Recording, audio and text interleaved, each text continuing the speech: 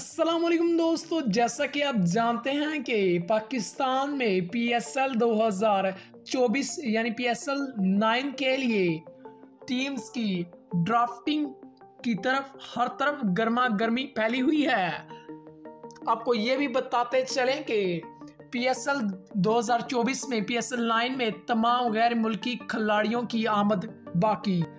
जी हाँ दोस्तों, अब आप आपको तमाम गैर मुल्की खिलाड़ियों की पी एस एल दो हज़ार चौबीस के ड्राफ्ट में शमूलियत के बारे में बताएँगे।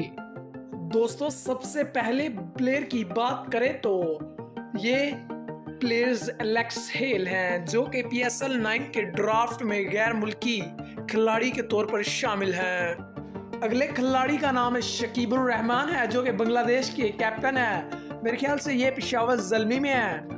पी एस एल नाइन में अगले खिलाड़ी शकीबुल हसन के बाद टॉम कोलर कैडमोर हैं, जो कि पिछले साल पिशावर जलमी में खेले।